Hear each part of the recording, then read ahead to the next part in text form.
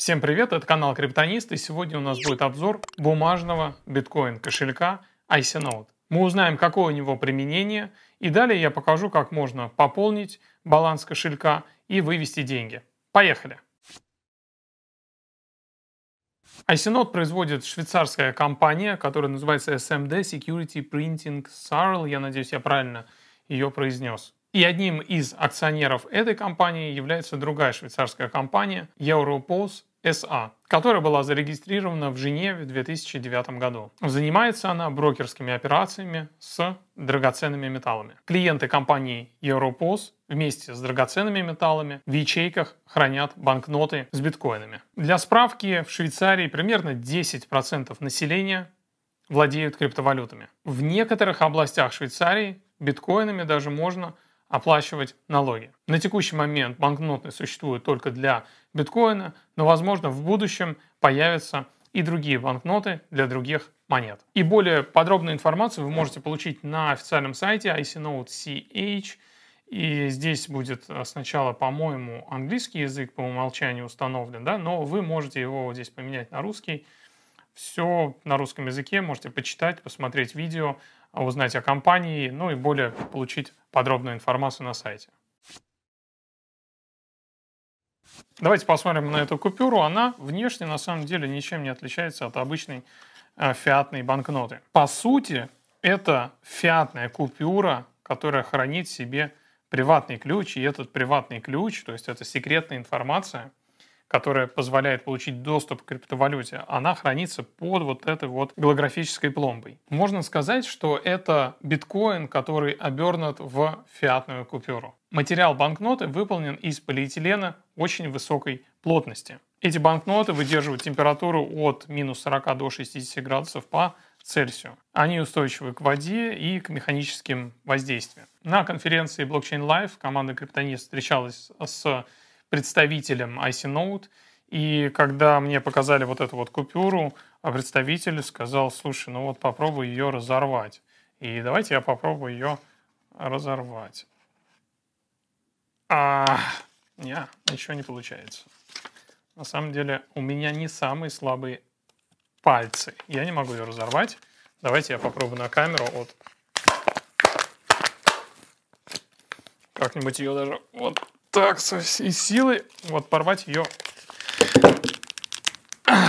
не получается порвать, и даже она не растягивается, что ли. Вот я со всей силы пытаюсь сделать. Даже можно ее как-нибудь вот так вот смять. И мы видим, что в целом-то все хорошо. И мы заодно проверим, а сочетается ли приватный ключ и все ли здесь будет хорошо. Разорвать ее, в общем, не удалось. Проверку на эту прошла. На лицевой стороне у нас находится адрес сайта, да, icnode.ch, то есть мы переходим для получения информации только по этому адресу. Ни в коем случае не нужно переходить по каким-то ссылкам, которые предоставляют там в Телеграме или на других ресурсах. Только то, что на банкноте icnode.ch. CH – это Швейцария.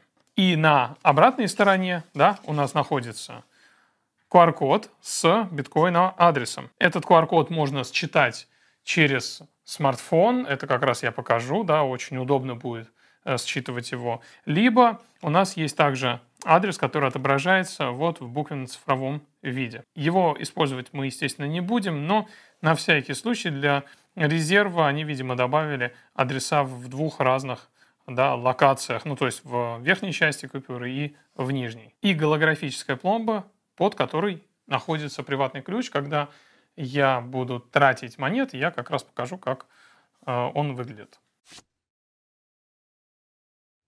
Давайте проговорим очень важный вопрос, а как эти банкноты вообще изготавливаются, как они печатаются. Печатаются они с помощью специальной машины, которая была разработана в Женеве. Эта машина отвечает за генерацию случайности, то есть это аппаратный генератор случайных чисел. И эта случайность необходима для того, чтобы генерировать приватные ключи, которые потом наносятся на банкноту. Приватные ключи генерируются в автономном режиме. Оборудование, принтеры, которые используются для создания банкноты, они не имеют подключения к интернету. А сотрудники типографии находятся под строгим наблюдением. И после производства партии банкнот жесткие диски, на которых хранилась информация о приватных ключах, они уничтожаются. И давайте еще раз проговорим эту цепочку. То есть есть лаборатория, в ней есть аппаратный генератор случайных чисел, там есть еще другое оборудование для печати, есть сотрудники, все это находится под контролем, да, под наблюдением,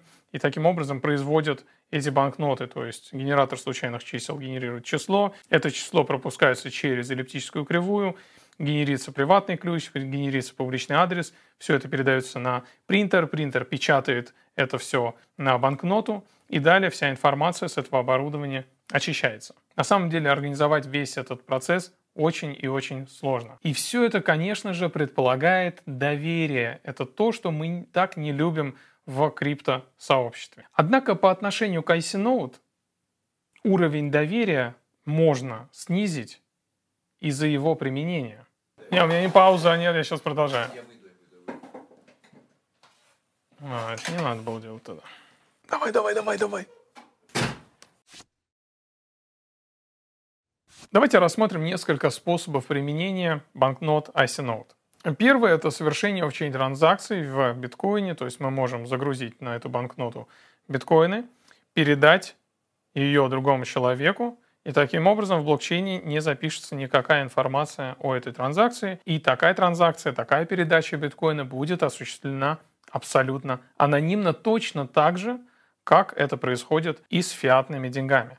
Другое применение, если нам нужно оплатить товары и услуги, и сделать это нужно человеку, у которого вообще нет никакого кошелька. То есть, знаете, как раньше выписывали чеки, точно так же можно выписать чек в биткоине с помощью IC Note. То есть мы можем сканировать QR-код с помощью нашего кошелька горячего, там, либо используя аппаратный кошелек, перевести туда биткоины и взять эту банкноту и передать ее Э, человеку для оплаты каких-то товаров и услуг. Мы можем сделать подарок человеку, у которого вообще нет никакого опыта в крипте и не знает, что такое биткоин. Ну и также мы можем перевести биткоины из точки А в точку Б без каких-либо электронных устройств. Например, передать банкноту родственнику или другу, то есть какому-то доверенному лицу, чтобы это лицо передало банкноту в пункт назначения. И голографическая пломба в этом случае будет гарантировать, что никто не знает приватного ключа от этого адреса. Соответственно, он не сможет потратить деньги, которые залочены на адресе биткоина. И заметьте, что я не говорю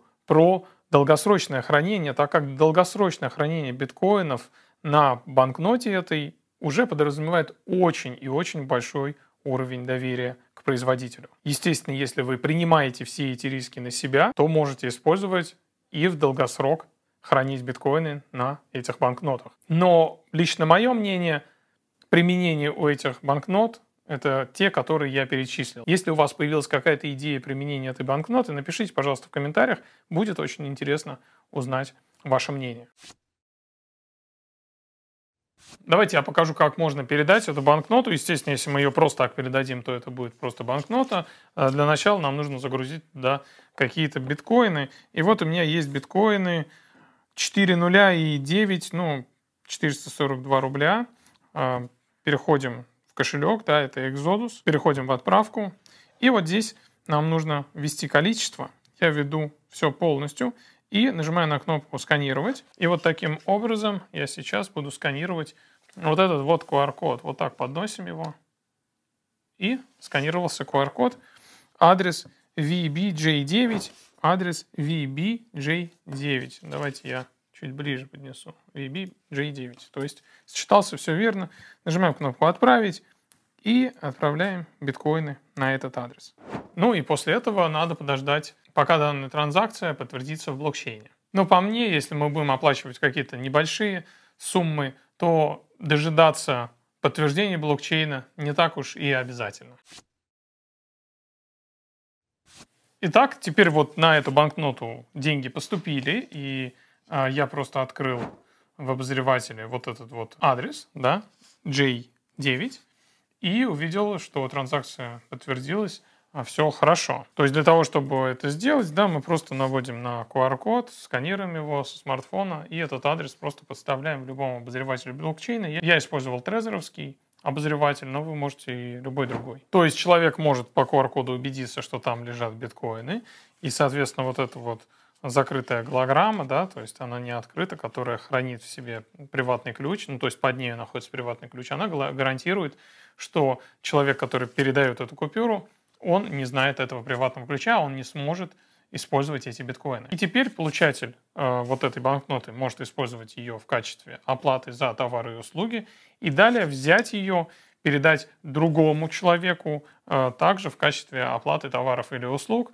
Если средств на э, адресе недостаточно, он может ее еще раз пополнить и точно так же передать. Самое важное, чтобы пломба вот эта была не нарушена. Но что, если нужно потратить деньги, вот именно деньги, которые находятся на этом адресе? То есть мы можем потратить, по сути, двумя способами. Да? Первая трата – это когда мы берем эту банкноту и передаем кому-нибудь. А второй способ траты – это когда мы тратим ее через вот этот вот приватный ключ. И как это происходит, давайте посмотрим. Здесь есть, во-первых, небольшой такой язычок. Отдираем пломбу. Отображаются два QR-кода. То есть это одинаковые QR-коды, которые отображают приватный ключ. То есть мы можем сканировать э, оба QR-кода и получим один и тот же приватный ключ, который да, даст доступ от биткоина, который расположен вот на этом адресе. И точно так же здесь есть буквенно-цифровой вид приватного ключа, то есть сверху вниз, и здесь есть стрелочки, которые показывают, что мы читаем сверху вниз. Формат адреса, который здесь используется, называется Wallet Import Format, WIF. Он применяется практически во всех криптовалютных кошельках, то есть я могу взять вот этот вот приватный ключ и ввести его там в Электруме, либо там в Экзодусе, да, во многих криптовалютных кошельках. И это тоже хорошо, потому что мы не завязаны на каком-то одном кошельке. Мы используем приватный ключ, который применяется во многих кошельках. И давайте посмотрим, как теперь тратить монеты. И чтобы потратить монеты, я использую тот же самый Exodus. Я нажимаю на кнопку шестеренки, да, и здесь есть такая опция, как Add Bitcoin Private Keys. Иногда она называется Sweep, иногда она называется Import Private Key, по-разному. Мы нажимаем на нее, и вот здесь нам нужно подставить этот приватный ключ. Мы его можем подставить э, как э, через буквенно-цифровой вид, точно так же и через QR-код. Но важный момент, что если вы обратите внимание, да, не всегда считывается QR-код, потому что следы пломбы остаются. И в этом случае нам нужно взять что-нибудь, типа монетки, и вот так вот очистить остатки пломбы. Не переживайте, QR-код вы таким образом не нарушите. Вот так очищаем, я надеюсь, какой-то один из QR-кодов считается. И вот таким образом. Да, и у нас считался наш приватный ключ. Посмотрите, вот KH, KXH, QDW и так далее. Остатки пломбы лучше, наверное, все-таки пальцем или ногтем. Сдирать можете э, и картой, но лучше сильно не переусердствовать. И у меня теперь э, здесь есть этот приватный ключ. Я нажимаю кнопку «Импорт». И вот они монеты, которые обнаружились. Э, действительно ли вы хотите отправить средства? Я говорю «Да», «Импорт». И все, мои биткоины, они отправлены на адрес, то есть на адрес Экзодуса. Вот в биткоине я должен их обнаружить. Вот они. 312 рублей, они поступают ко мне на Exodus. То есть я с банкноты отправил деньги на свой Exodus. И давайте подведем итог. Как я считаю, эти банкноты не совсем предназначены для хранения. Вы, конечно же, можете хранить, но просто придется принимать а, риски, то есть доверие к производителю. Если у вас доверие к производителю имеется, если вы с ним хорошо ознакомились, или вы работаете с этой компанией, то вы можете хранить и в долгосрок средства. Если нет, тогда просто небольшие суммы и использовать их с применениями, которые я приводил. Да, подарок, либо оплатить товары и услуги, либо совершить офчейн транзакцию. Также могут возникнуть вопросы, а что если, например, Exodus заблокирует, да, сейчас это очень популярный вопрос, либо какие-то кошельки, ничего страшного не произойдет, потому что тот стандарт, который применяет IC Note, это стандарт Wallet Import Format, он применяется во всех практически криптовалютных кошельках. Вы в любом случае сможете даже через какой-нибудь электрум десктопный, да, через веб-камеру считать этот QR-код и получить доступ к деньгам. И я забыл сказать самое важное, что приобрести эти банкноты вы можете на нашем сайте. Банкноты находятся в разделе «Аппаратные кошельки», но на самом деле это не аппаратный кошелек, хотя относится к холодному хранению. Спасибо вам за просмотр. Ставьте лайки, нажимайте на колокольчики, подписывайтесь на наш канал. Если у вас есть вопросы, пишите в комментариях. Это был канал Криптонист. Храните ваши цифровые активы в безопасности.